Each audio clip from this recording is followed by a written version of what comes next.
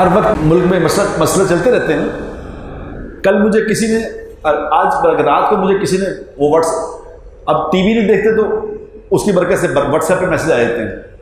WhatsApp पे किसी ने मैसेज भेजा कि ये वो, ये किया है, सर्वे। आपने शायद देखा कि नहीं देखा? आपके पास पहुँचा किसी के पास सर्वे हुआ है कि ये हालात कौन ठीक कर सकता है? कोई जंग के किसी ने पता नहीं सर्वे किया है ये।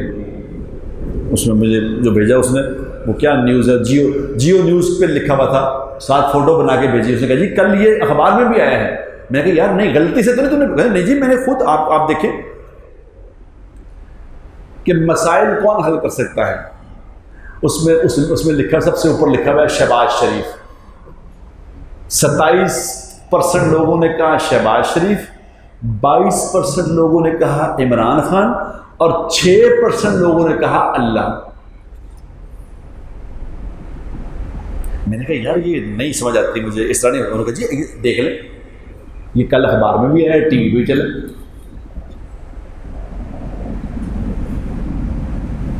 मैंने उससे कहा, मैंने कहा, अगर मैं इस मुल्क का वज़ीर अजम होना तो मैं जिसने इस सर्वे किया उसको बुला लूँ फ़ौरन।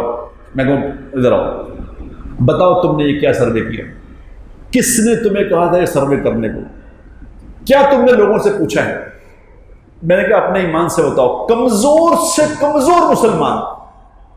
न कभी नमाज़ पढ़ी, न कलमे के अल्फाज सही जानता है, न कभी उसने जक़ात दी, न अल्लाह की कोई बात मानी।